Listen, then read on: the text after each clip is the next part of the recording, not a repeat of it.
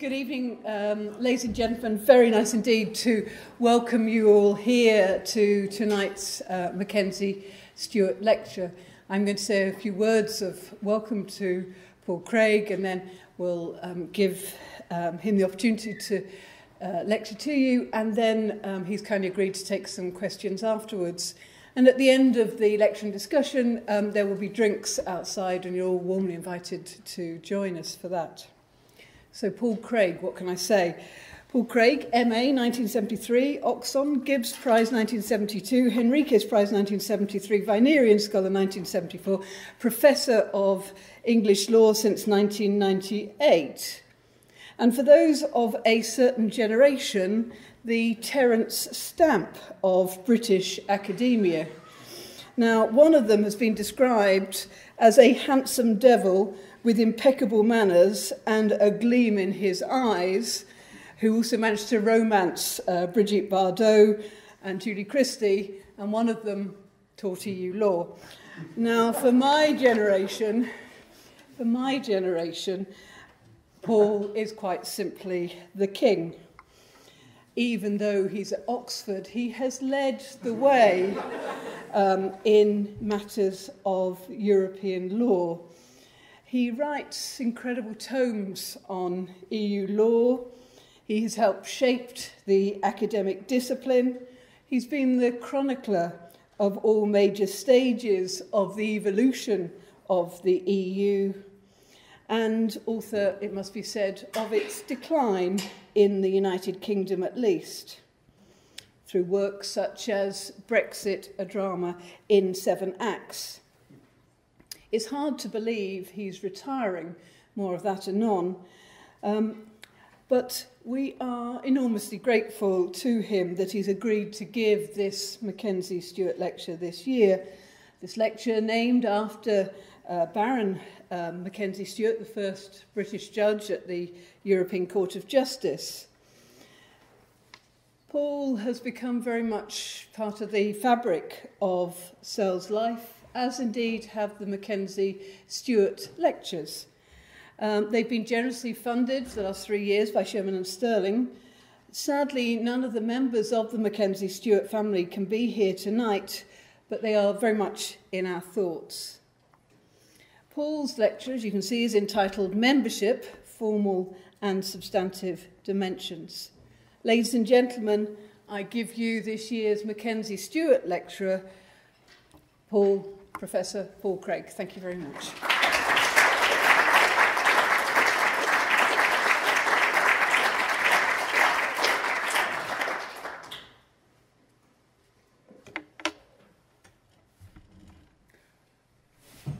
Catherine, thank you very much indeed for that really wonderful welcome.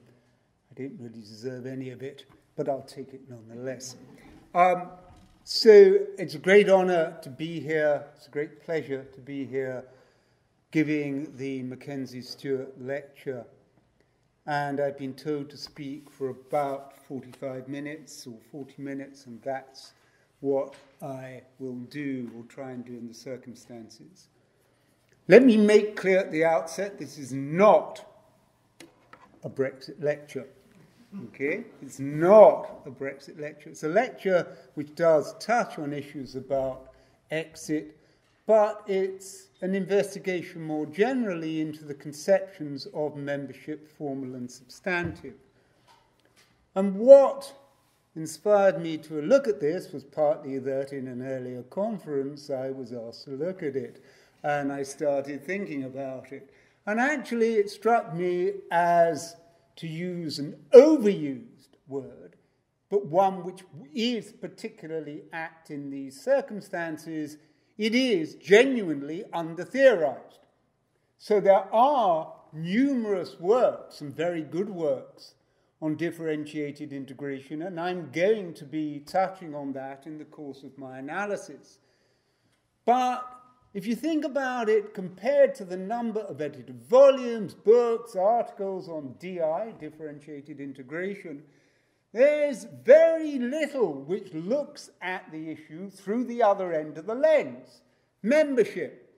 Okay, DI, differentiated integration, is an exception, qualification. Two, a prima facie understanding of membership. But actually, we don't look very much at what that entails. Uh, so, this is a preliminary investigation into the the word preliminary is always, you know, one of those words that academics use when they say, I'm thinking about it, don't take this as the last word, etc. But it is preliminary, but hopefully adding some value to our understanding of this concept. And it is about both the formal and substantive dimensions. And I begin with the formal dimensions. And we're going to begin slowly, but we're going to speed up and build. So, we start off, as we know, with the formal criteria for membership articulated in Article 49 of the TEU. And people in this room will be very familiar with the text of this particular article. Let me break it down into certain noteworthy features of Article 49.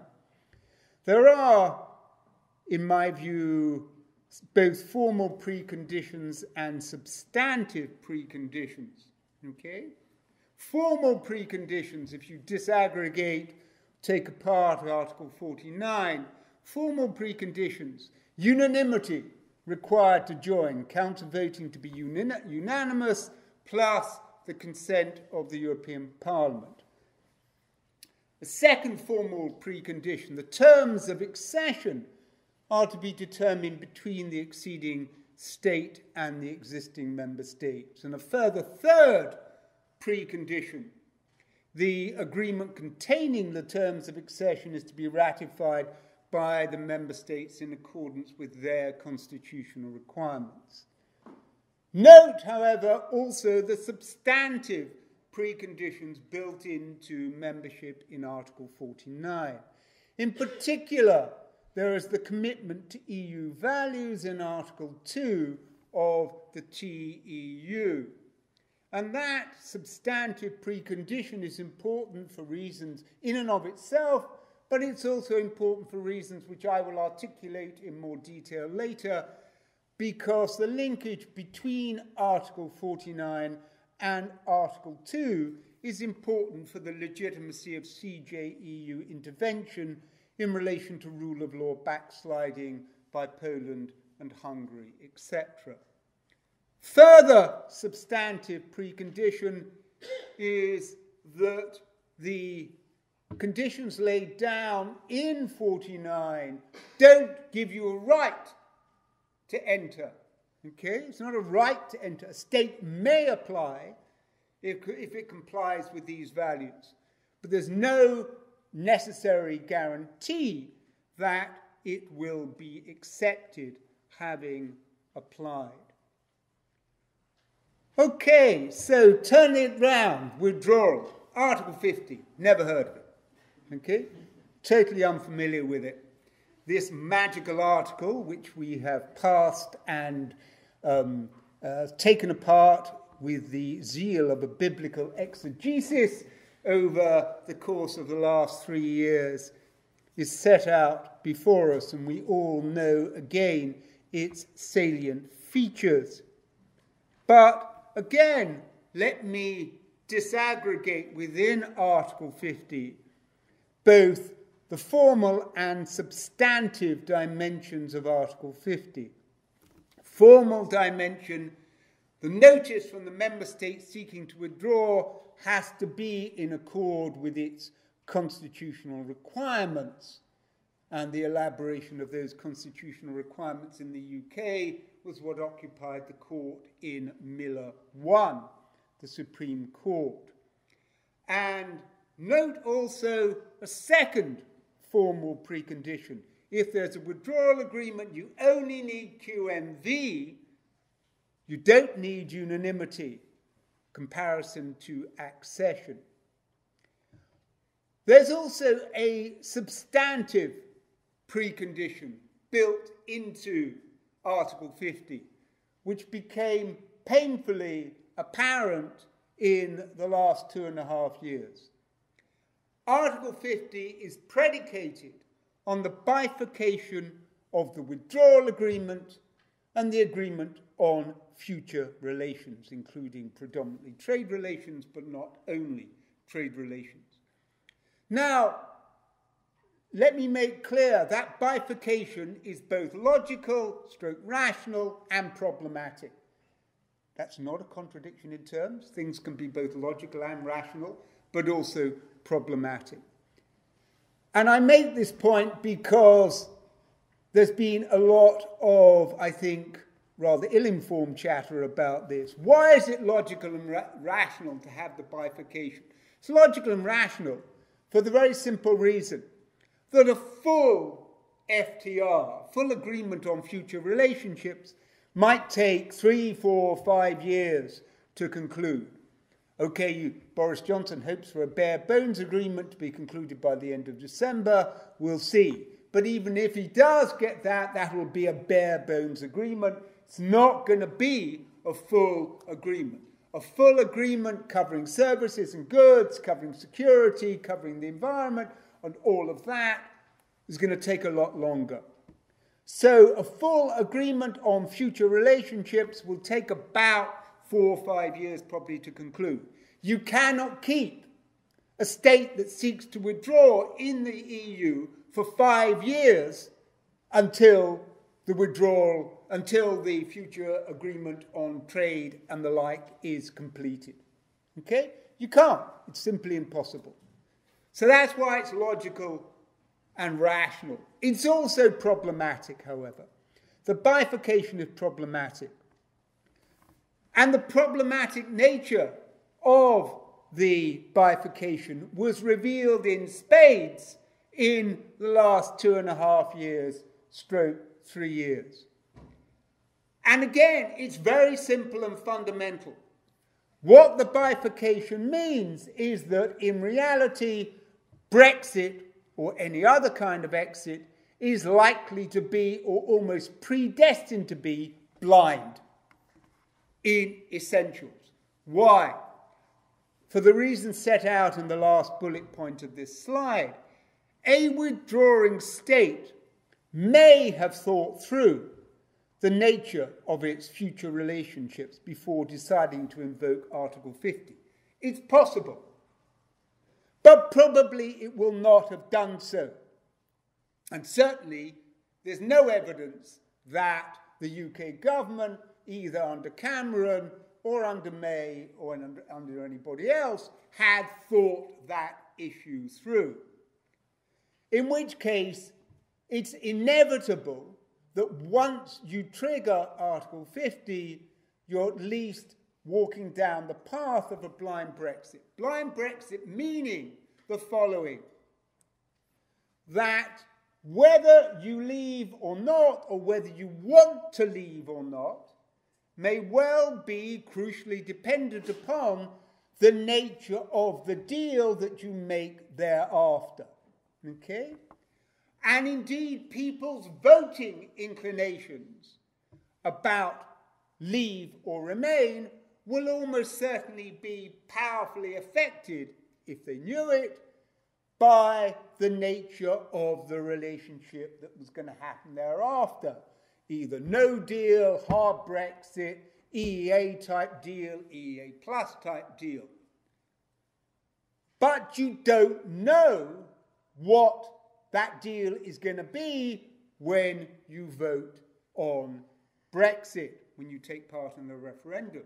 Now, this tension, this very real tension, was evident for those who followed it throughout the entirety of the last two and a half years.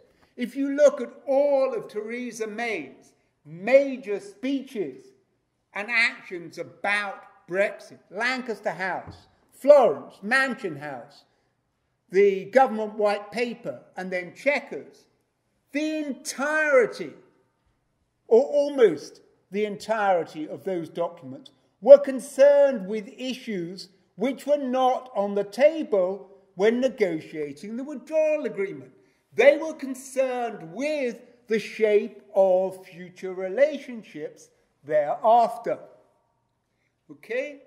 And whatever Theresa May felt about that, as attested to a hard Brexit as qualified in the Lancaster House speech, in Mansion House, in Florence, in Chequers, etc., whatever she may have felt, the other key thing is not only were those issues not on the table at the time when you were negotiating the withdrawal agreement, they, of course, were not for the unilateral determination of the UK. Whether we end up with a hard, soft, medium Brexit is not for our unilateral determination. When the time comes, the UK puts its cards on the table, and then it's a matter of discussion with the other side, the EU, and the EU won't necessarily accept that. But I repeat, this bifurcation was at the heart of virtually everything that happened at the executive level of the UK and at the heart of everything that happened at the legislative level.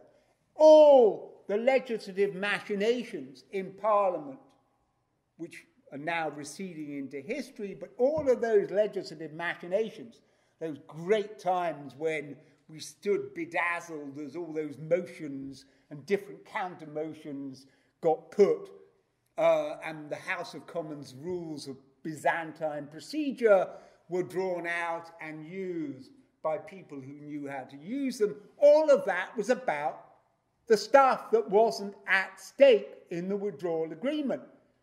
And even if those votes had gone more towards the EEA, they wouldn't have been binding on anyone. Well, they wouldn't have been binding or determinative of the nature of the future relationship.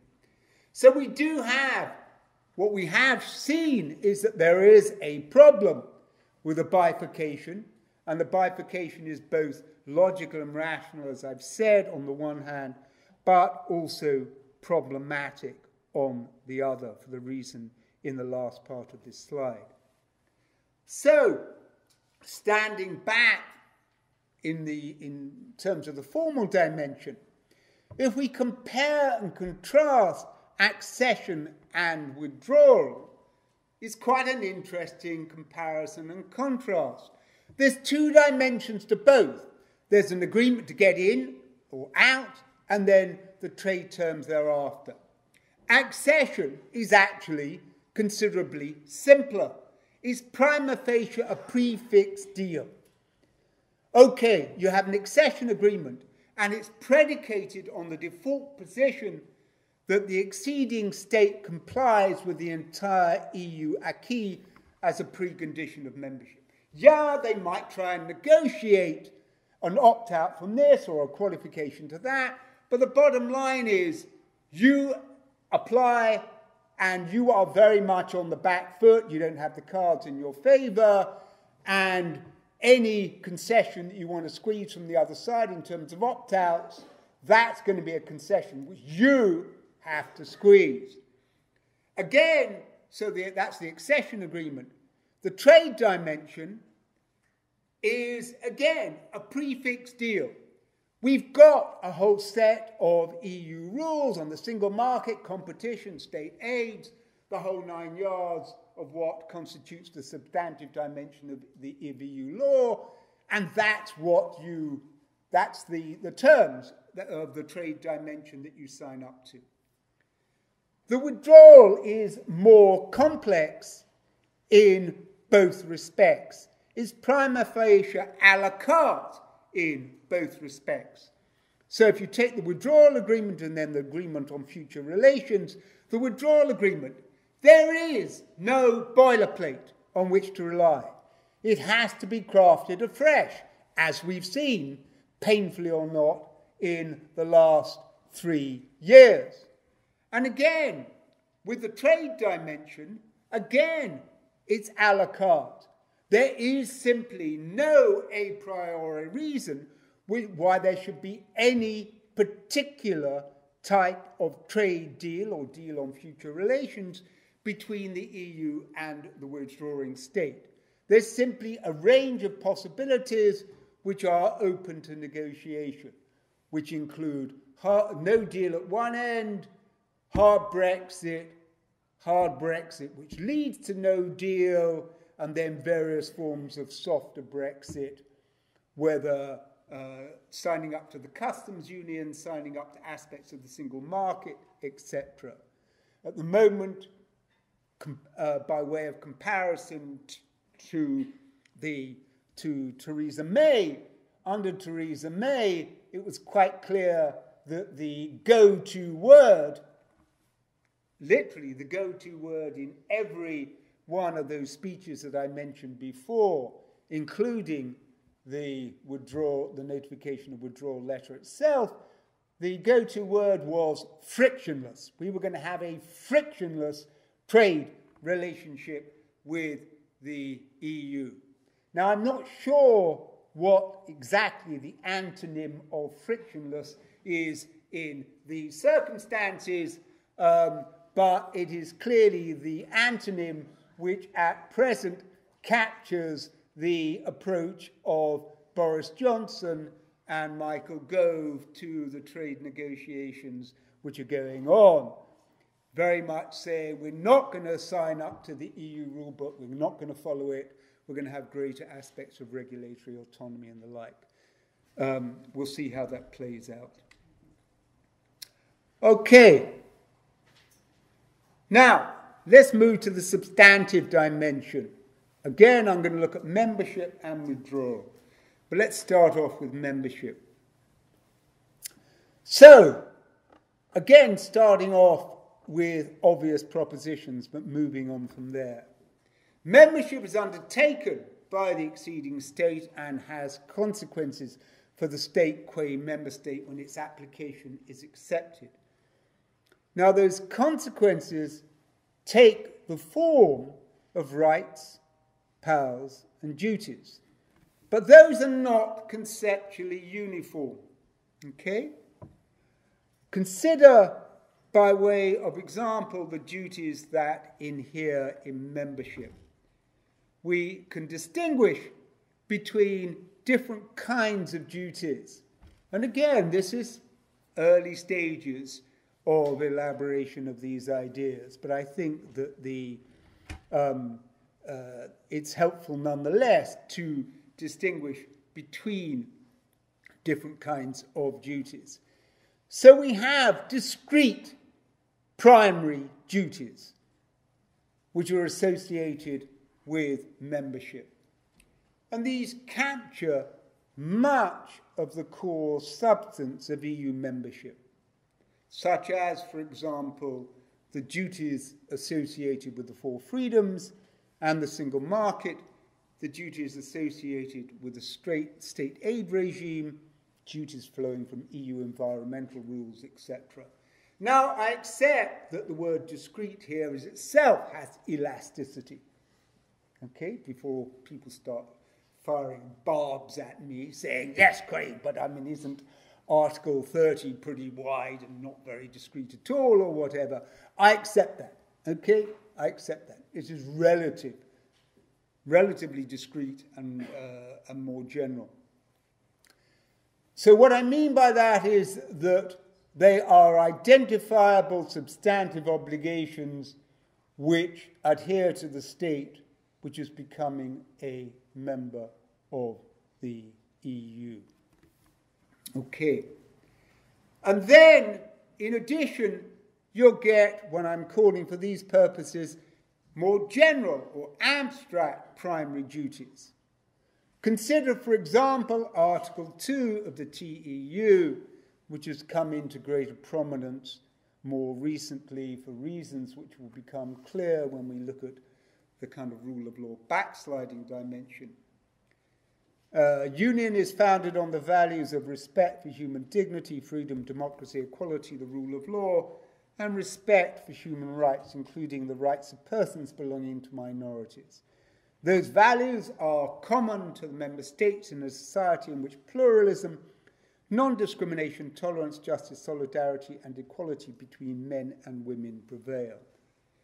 Now, for a long time, people thought this was merely hortatory stuff, but actually, experience has shown that it has more a more substantive real dimension to it than we might have thought hitherto, and I think rightly so. Okay, but again, then we have discrete, secondary, remedial duties.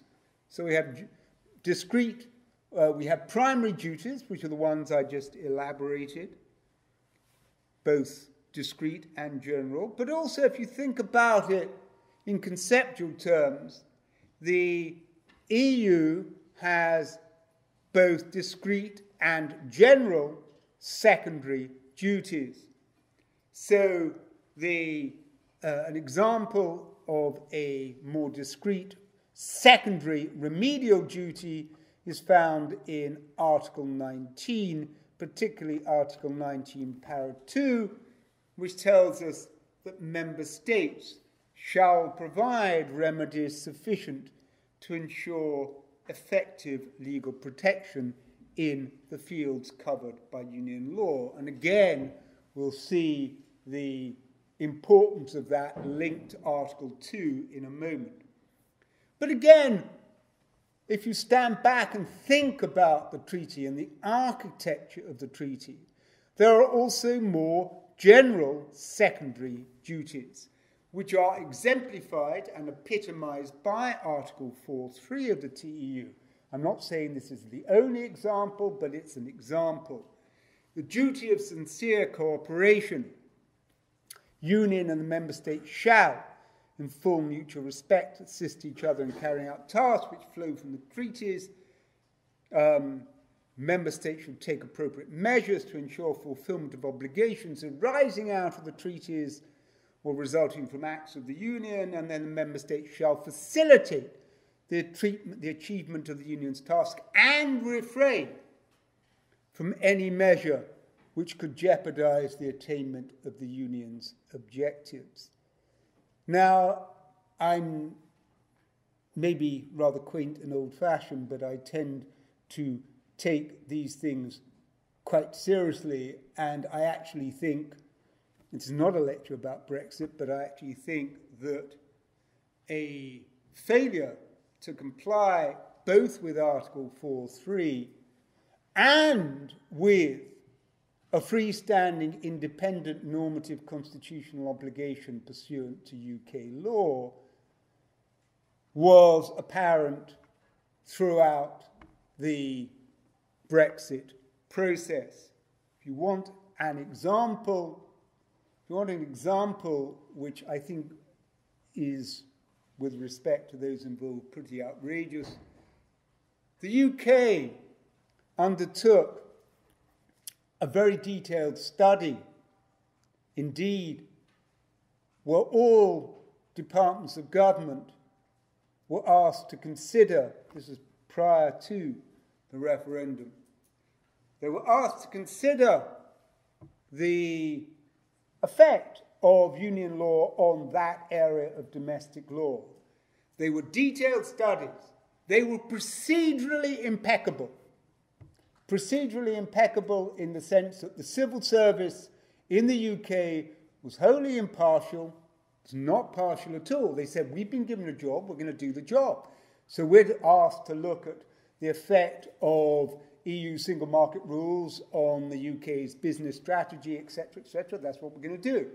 Procedurally impeccable in the sense that they took evidence from a wide range of sources town hall meetings, online access, and then also procedurally impeccable because what they did was that the department would then formulate its conclusions, and then the department would go to the Cabinet Office and present the prima facie conclusions before the Cabinet Office, and the Cabinet Office would bring in two outsiders. I know this because I was one of the outsiders on four occasions. There were multiple instances of this. And those outsiders would, you know, they would just give the draft conclusions a good, good, you know, uh, turnover and to see if they withstood examination in the light of the evidence. And quite often we would say, okay, look, yeah, that's fine and that's fine, but look, you need more evidence for that, or that conclusion isn't substantiated. Look, the bottom line is, as attested by a wealth of secondary literature looking at this uh, material, pretty much all of those studies, without exception, found that membership of the EU was either beneficial or, at the very worst, neutral for the area in question. There was no collaboration between the departments, they did their studies at different times. Okay, how much did the public know about this when it came to the referendum? Zero. Okay? Zero. Uh, the hardline, the Brexiteers had hoped that this study would show all sorts of malfunctioning in the EU and bad consequences for the UK. Didn't show any of that, so they didn't mention it, they swept it under the carpet.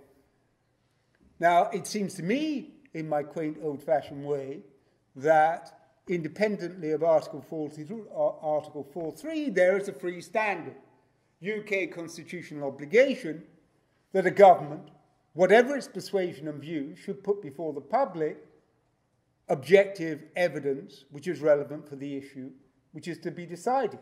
I don't regard that as rocket science and I don't regard that as controversial. If someone thinks to the contrary, I'm very happy to take an answer, take a question on that, uh, and see what the argumentation is as to why such a constitutional obligation doesn't exist. It didn't happen. Now, would it have made any difference to the referendum? I have no idea. I have no idea. We can't do a counterfactual. We can't go back and do a lab experiment to know whether it would have been different. But in any event, I think those secondary duties are important. Okay, so moving on. There's a linkage between the primary and secondary duties of membership, and it is powerfully exemplified by an issue that I've touched on as we've gone through, which is the recent CJEU case law on rule of backsliding by member states. So, what's happened in this case is that Article 2, one of our more abstract primary duties, has provided the locus for the primary duty of compliance with the rule of law. And Article 19.2 has provided the locus for the secondary remedial dimension. And you see that in these, I could give much longer extracts, but I don't have time. But you see that in two of the seminal cases the Portuguese judge's case and Commission against Poland. And we'll see it again when the CJEU grapples with the Polish muzzle law in interim proceedings which are coming before it as we speak, as it were. So, in the Portuguese judge's case, the guarantee of independence, which is inherent in the task of adjudication, is required not only at EU level as regard the judges of the Union and the advocates general of the Court of Justice, as provided for in the third subpara of Article 19.2, but also at the level of member states as regards national courts. Again, in Commission in Poland, the requirement that courts be independent, which is inherent in the task of adjudication, forms part of the essence of the right to effective judicial protection and the fundamental right to a fair trial, which is of cardinal importance as a guarantee that all the rights which individuals derive from EU law will be protected and that the values common to the member states set out in Article 2 TEU in particular, the value of the rule of law will be safeguarded. And I think both of those judgments are very powerful and very persuasive. And I'm very happy to take further questions. But all I'm doing for the moment in this lecture is exemplifying the link between the use of a more general abstract primary duty, Article 2, and a the uh, secondary remedial duty in Article 19.2. Okay, again, still sticking with the substantive dimension of membership. So far, we've been looking at the substantive dimension of membership in relation to the obligations which flow therefrom for member states. But of course, the EU, as we know very well, is also for the citizens thereof. And again, I think it's just interesting, conceptually and normatively interesting, to think about the membership dimensions which inhere in citizens. So we have the benefits of EU citizenship, for example. So, what's the relationship between membership and EU citizenship? Well, in my view, it's not a priori. It's perfectly possible to have a community with member states thereof without necessarily having Articles 18 to 22 of the TFEU on citizenship. Indeed, we had it for many years before they came on board into the treaties. It's not, fortu- it's not uh, a priori, but it's not fortuitous either. Clearly, the inclusion of those provisions was driven by a desire to thicken the political and civic bond created by the EU. And again, one of the seminal features of, the, of EU law, the benefits of direct effect, again reflecting on the relationship between membership and direct effect. Again, it's not a priori. Perfectly possible to have a community with member states without direct effect and the rights attached thereto. Again, not fortuitous, driven by a desire to render more effective the enforcement of EU law and to drive home the idea that the EEC was not merely an order of member states like other international treaties. So, again, these are just examples, okay? This is not the entirety of the substantive dimension. Okay, so now let's turn through the lens of membership to the relationship between membership and differentiated integration. So, about which there has been a lot and a great deal of value written. I think it's very important at the outset, when thinking about DI, differentiated integration, to distinguish different models of DI, because otherwise confusion emerges if we elide these models. And I think Daniel Thym in a recent essay in one of the books of essays, uh, the one edited by Bruno de Witte and various other people, correctly distinguishes, I mean, not for the first time, but he puts it very neatly between three primary models of DI multiple speeds, federal core Europe, and flexibility a la carte. The essence of a multiple speeds model, key characteristic, you're all going to the same endpoint. You're just going there at different timelines. Some of you are ready now, some of you are not ready now. Some of you can go there immediately, some of you may go there five years later. Okay? So, as Daniel Thym says, multiple speeds means differentiation as a transitional and transitory phenomenon in response to objective distinctions between member states in terms of stages of economic development and the like. Federal Core Europe model, very different idea of DI. Here, the key characteristic is to retain the momentum in support of closer integration, to forge ahead with those who are willing and able to do so through, for example, treaty reform plus opt outs, enhanced cooperation, etc. But the idea is you're moving towards some uh, finalité, as it were, which is a core Europe finalité. And it's a more federal uh, dimension of the EU than exists at present. Whereas the third model, which is out there, flexibility a la carte model, here I think Thym again is correct that the key characteristic is a rejection of an a priori federal vision, an emphasis instead on, quote, the principled freedom of the member states to decide upon the degree of participation in the EU, and that mirrors aspects of intergovernmental international relations theory. Okay, so lots and lots written about DI, but just bear with me and start reflecting on DI when viewed through the lens of membership rather than just straight on itself. So, the relationship between membership and differentiated integration. Let's look at some what I call first principles. So, does the concept of membership entail uniformity across all terrains? No, not in my view.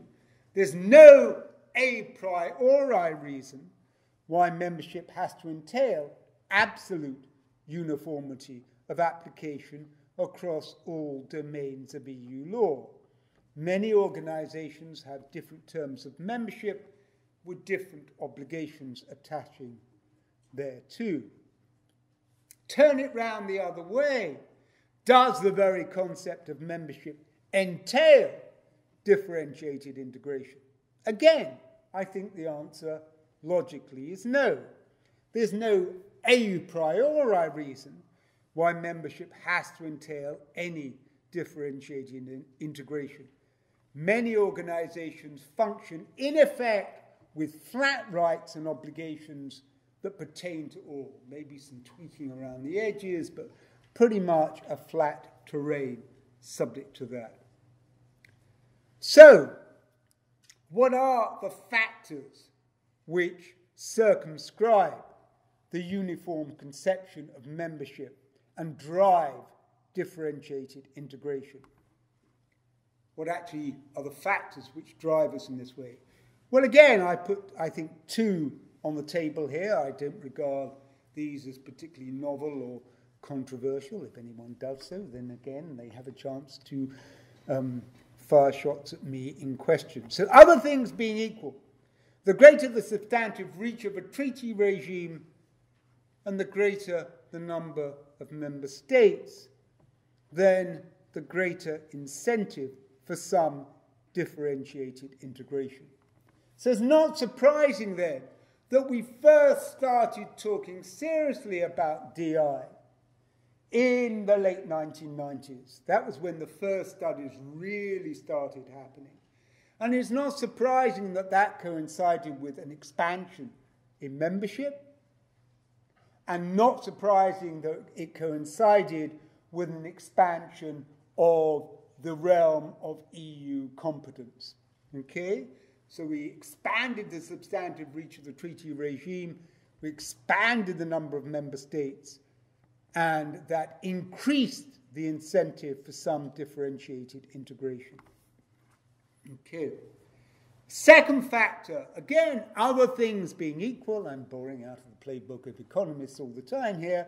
Um, uh, other things being equal, the more demanding or far reaching the nature of the EU obligations, and the more intrusive they are on national sovereignty, the greater the incentive for or pressure for some special treatment by some member states. And again, I don't think this is particularly surprising, but I think it's other things being equal, helpful to put it on the table. Two prominent examples EMU and the area of freedom, security, and justice are both areas which, in different ways, entail pretty significant intrusions on national sovereignty. And it's not surprising that in both areas there have been pressures for some form of differentiated integration. The pressures may take the form of a complete opt out of the single currency, they may take more milder forms. Uh, and the UK availed itself of pretty much all of this spectrum of opportunities and still wasn't content. But, excuse me, I had to say that. Got it off my chest. Right. Um, okay. So, moving on.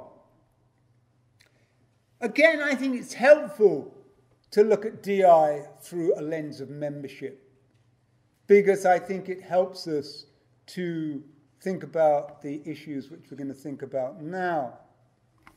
So, what are the factors then, if we're thinking about the relationship between membership and differentiating integration? We've looked at the factors driving DI. What, by way of contrast, are the factors which circumscribe differentiated integration and drive commonality in conceptions, terms, results of membership? Well, I put down, I'm going to look at a number of them. Firstly, there are what I call decisional considerations. And this is to satisfy the formal legitimacy of such provisions. So, there are a number of different decisional considerations that need to be borne in mind in this respect. Firstly, DI, in order to attain formal legitimacy, may have to be embodied in treaty or treaty amendment, such as opt outs. Basically, the more far reaching the DI, the differentiated integration, the more likely it is you're going to need to secure it by, an opt, uh, by some treaty amendment. If you don't do that, then the DI, the differentiated integration, has to be embodied in EU legislation, which is a result of decisional choice in accord with the rules for making such decisions, provided, of course, that the rules thus made are consistent with the empowering treaty provisions pursuant to which the regulation directive is made. We all know that differentiated integration often takes the form of or is operationalized through a regulation or a directive which contains exceptions, qualifications for its application to a particular state or range of states. But that is only formally legitimate if the regulation and directive is made in relation to um, the procedures in the treaty for the making of such regulations and is consistent with the empowering treaty provisions. The third kind of um, foundation for uh, decisional foundation for differentiated integration is the dodgiest, as it were. It's where decision, uh, differentiated integration is the result of practice, power politics, inadequate enforcement, and all of those may be inevitable, but they're nonetheless questionable in terms of formal legitimacy. Okay, we've got now a different set of factors which circumscribe differentiated integration. Okay? Um, again, we're looking through the lens of membership. So what here I'm calling it functional considerations. And the functional considerations are linked by a realization of the negative externalities created by differentiated integra- uh, integration. And the negative externalities can take different forms. So, one form of functional negative externality created by differentiated integration is the realization that if you give too much latitude to member states and too much difference in the application of the relevant rules, it can lead to significant negative consequences. We don't have to be hypothetical about this.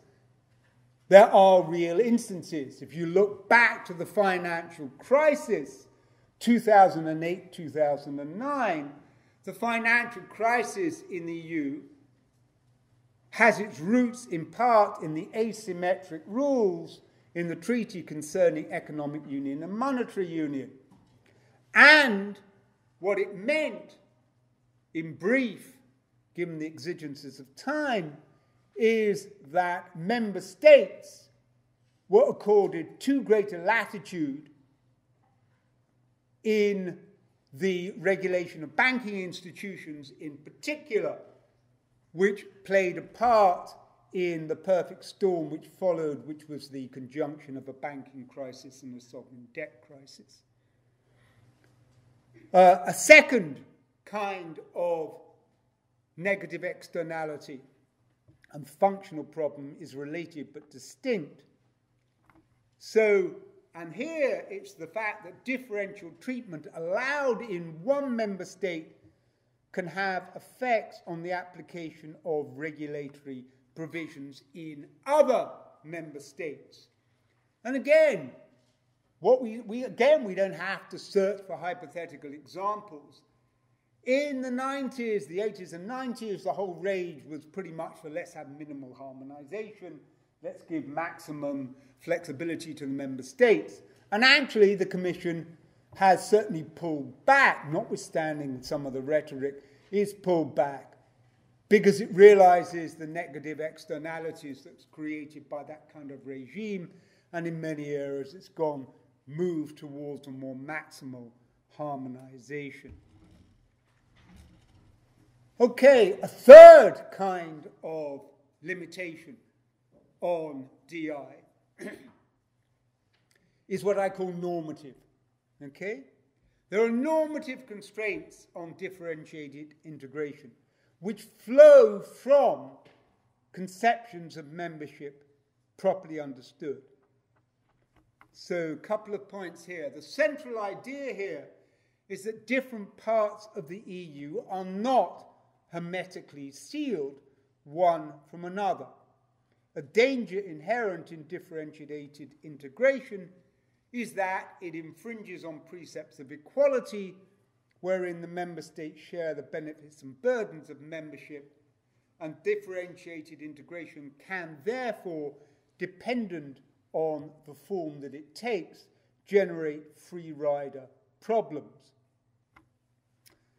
And again, a second normative constraint on differentiated integration, which flows from ideas of membership, in my view at least, is that differentiated integration, de jure or de facto, whether it's a treaty amendment or practice or whatever else, cannot be allowed to impinge on common core EU values. The content of the Common Core may be contestable, but it does not undermine the point that I'm making here. So, for example, differentiated integration that seriously impinged on Article 2 values would not, in my view, in any circumstances, be acceptable as exemplified by the rule of law problems with Hungary and Poland. Nor do I believe that differentiated integration that undermined central core content of the single market and the level playing field. I don't believe that would be acceptable either. Okay, so uh, when I produced this slide, I did have to kind of just giggle at myself a bit um, because uh, I thought this is kind of a wonderful slide, but um, people would either say this is kind of a wonderful slide, or they'd say really, you cannot be serious, or they might say both at the same time. In any event, where this leads me, just by way of um, preliminary conclusion in relation to this uh, um, part of the lecture concerning substantive dimensions of membership and the relationship between differentiated integration and um, membership is the two parts of this slide. The logic of chaos is order, status quo. And what I mean by that, that's where we are now. And what I mean by that is the following the substantive content of EU membership does and can vary depending inter alia on the degree of differentiated integration and the precise content of EU membership in any single member state and as between member states is dynamic and will vary across time. Nonetheless, common institutional and decisional rules continue to apply, subject to any ad hoc amendment thereof demanded by differentiated integration. So when I say this, the logic of chaos is all this is messy.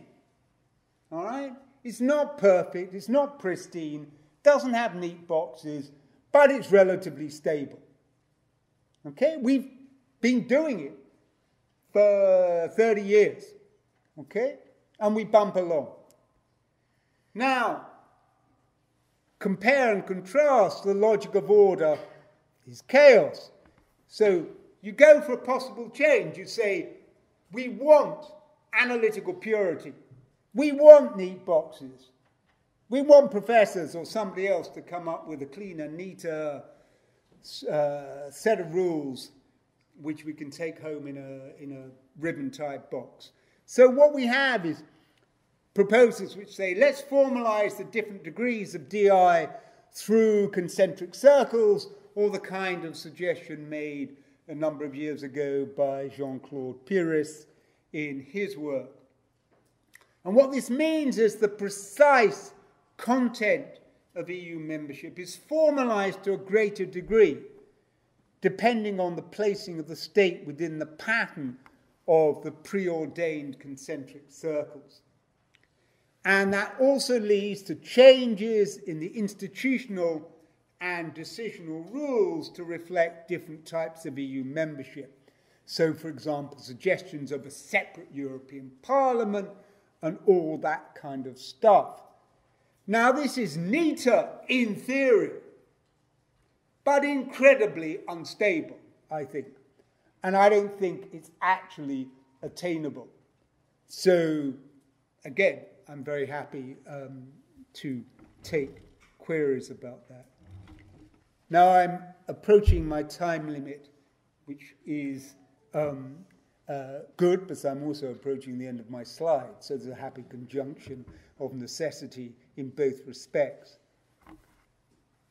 Substantive dimension withdrawal. Wightman is, I think, instructive in this respect. Of course, Wightman, in its formal sense, was never used, and by that I mean Wightman said that you could unilaterally revoke the notice of withdrawal under Article 50 if the UK sought to do so. It didn't seek to do so, and in that respect, the decision is moot. But it's not really moot in a broader, deeper sense, because Wightman is underpinned by a conception of membership. And the conception of membership which underpins Wightman is a conception of membership which applies to exit from the EU as well as entry. And the conception of membership which underpins Wightman which led the court inexorably to disagree with the Commission and the Council and to agree with the claimant's case, is what I call voluntariness and state, state sovereignty. I've extracted a few paragraphs from the court's judgment in this respect. In para 50, we're told Article 50, para 1 provides that any member state may decide to withdraw from the EU in accord with its own constitutional requirements. It follows that the member state is not required to take its decision in concert with the other member states or with the EU institution. The decision is for that member state alone to take in accordance with its constitutional requirements and therefore depends solely on its sovereign choice. So, voluntariness and state sovereignty shot through that part of the judgment, and the same themes recur throughout the judgment. So we're told in para 56 Article 50 TEU pursues two objectives namely, first, enshrining the sovereign right of a member state to withdraw from the EU, and secondly, establishing a procedure to enable such a withdrawal to take place in an orderly fashion. And that same theme is repeated throughout the judgment. It's very much the idea that the EU is formed from sovereign states. A sovereign state chooses to accede pursuant to Article 49, and if its membership application is accepted, it becomes a member state of the EU. And that same idea of voluntariness and state sovereignty informs the CJEU's reasoning and conclusions in terms of exit. Some, I'm not going to read all this, just summarized in 65. Given that a state cannot be forced to accede to the Union against its will, neither can it be forced to withdraw from the EU against its will. Thank you very much indeed for listening to me this evening. Just a final word. I think that at the moment in the history of the EU, some focus on membership in and of itself and the obligations that inhere in membership, both formal and substantive, is really pretty important. Really, what underlies the situations in Poland and Hungary in relation to their judiciary is something very fundamental. A state wishes to be part of the EU, but wishes to undermine one of the central precepts of membership. Having an independent judiciary is, if you think about it for more than about 30 seconds, not only an integral part of the rule of law, any conception of the rule of law, but having an independent judiciary is, if you like, in many respects, the premier right or the premier aspect or a premier aspect of the rule of law. Why? Think about it. If you do not have an independent judiciary, then pretty much everything else that the rule of law stands for will be shot to pieces. So, rule of law stands for the proposition that a, legal, a political order can only take decisions in accordance with the constitutional legal rules for the making of laws within that society. A non independent judiciary will not will not protect that aspect of the rule of law. They will bend and distort the interpretation of constituent power and the conditions for legal legislation in a way that uh, leans strongly in favour of the government. Equally, other aspects of the rule of law, whether it's protection of fundamental rights, whether it's access to court, whether it's injunctions against overgeneralized and vague legislation, if you do not have an independent judiciary, they will not meet and protect those rules. And in the EU, it's even more important. It's important for all those reasons, and it's important because the whole functioning of the EU legal order, as instantiated through and by Article 267, is dependent upon independent national courts. If you do not have independent national courts and they do not adhere to the precepts, fundamental precepts of membership, there really will be troubling times ahead. And the importance of that is attested to, and this is my final word, the importance of that is attested to a letter sent to the then um, candidate for Commission President by the presidents of the three prominent national court associations, so the presidents of the Supreme Court, presidents of administrative law courts, etc., expressing their, their disquiet about the challenges to the independence of the judiciary within certain member states and the dangers that that brought in its wake for the survival of the EU. Thank you very much indeed.